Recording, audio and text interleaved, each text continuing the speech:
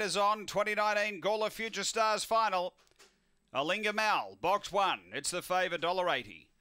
Racing, uh, patchy start, good speed here. Stitcher Millie driving hard. Hot Zorro. Hot Zorro ran up the track, took Stitcher Millie with it, and Alinga Mal drove the fence, but Hot Zorro out after it. So the leader is Alinga Mal from Hot Zorro, then Valide. A couple away fly by them, two away Stitcher Silla, then Victor Boris, Stitcher Millie, and back at the tail end is Alinga Jess up front. It's Alinga Mal about three quarters on Hot Zorro, and three away came Valide. They're on the turn. Favourite pulls clear Alinga Mal. Hot Zorro trying to rush late, but Alinga Mal too good. Beats Hot Zorro. Third